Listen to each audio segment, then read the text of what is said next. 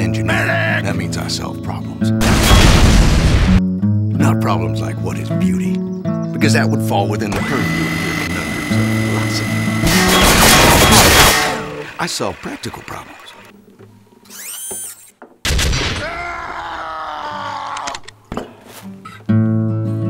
For instance, gonna stop some big mean Mother Hubbard from tearing me a structurally superfluous new behind? The answer? Use a gun. And if that don't work, use more gun.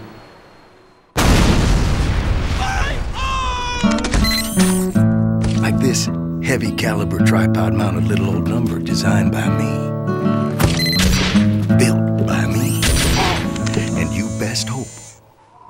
Not pointed at you.